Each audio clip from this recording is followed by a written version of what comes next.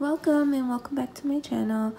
This is a list of our sinking funds and we did add some money in between the end of June and now but I didn't make a video so I'm just going to give y'all an update of our trackers that I've created and add some money into our personal funds.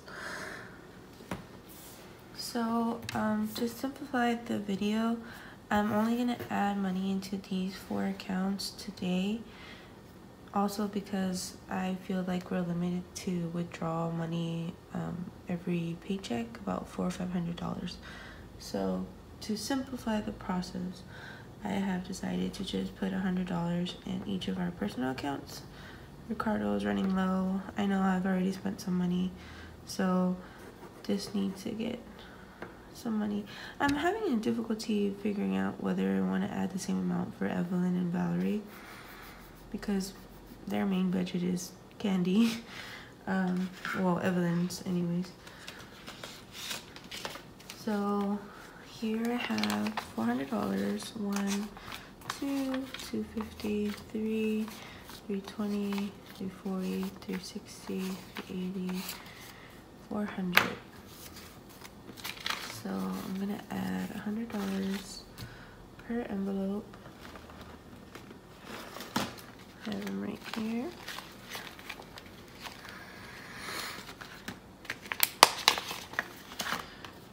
and then we on the 20s I actually spend the most money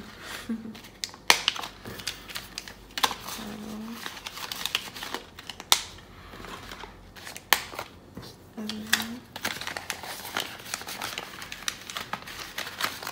The 25 here is the original amount I put the first time.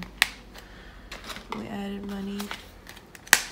100 battery.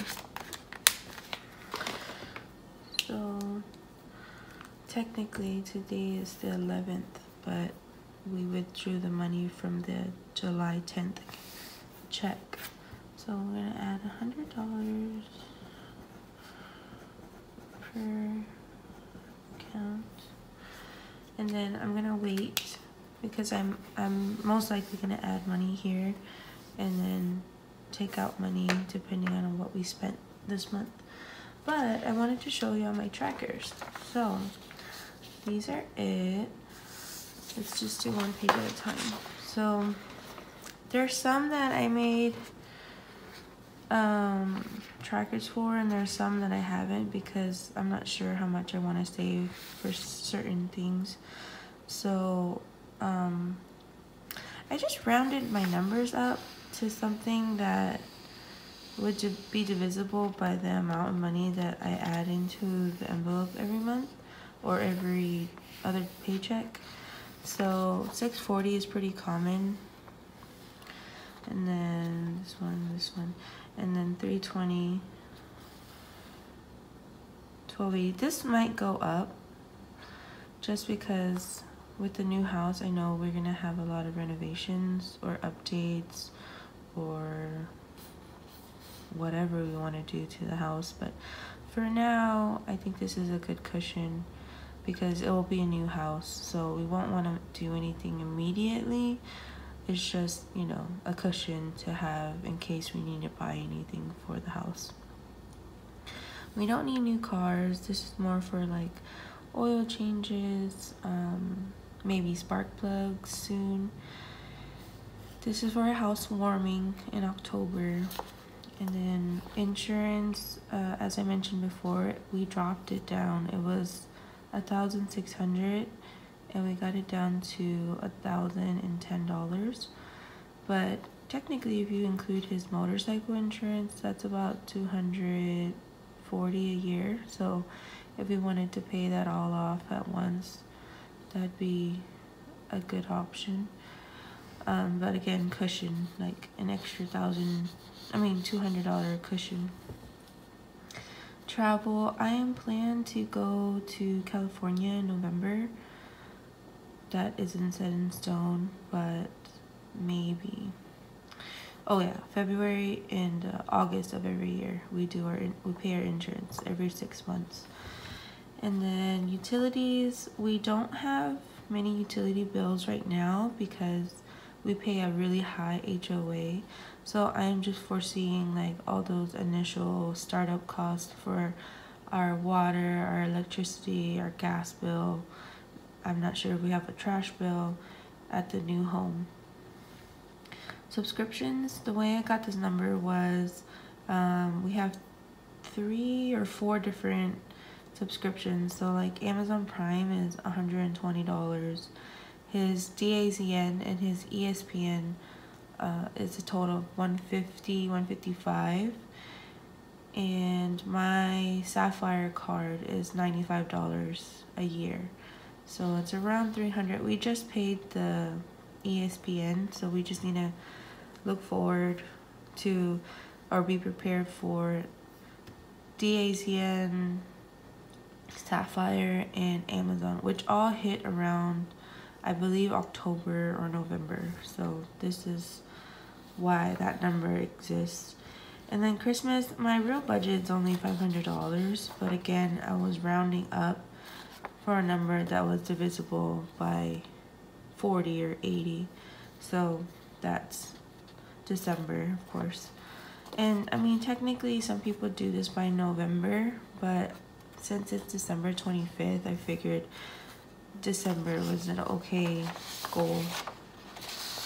And then these are our bigger numbers. So the reason why I made medical so high is because I do anticipate having a third child and we paid over $5,000 for just our midwife. So my original goal um, has to be higher than that because insurance doesn't cover home births. So 5,000, 6,000 maybe for this goal. And then these three I simplified to 2,000 because appliances I'm thinking like a washer and dryer are around that range. Everything else we'll have like in the kitchen. We're gonna get the stove, the microwave, the refrigerator, the dishwasher, but we won't get washers and dryers. We didn't add that to our package.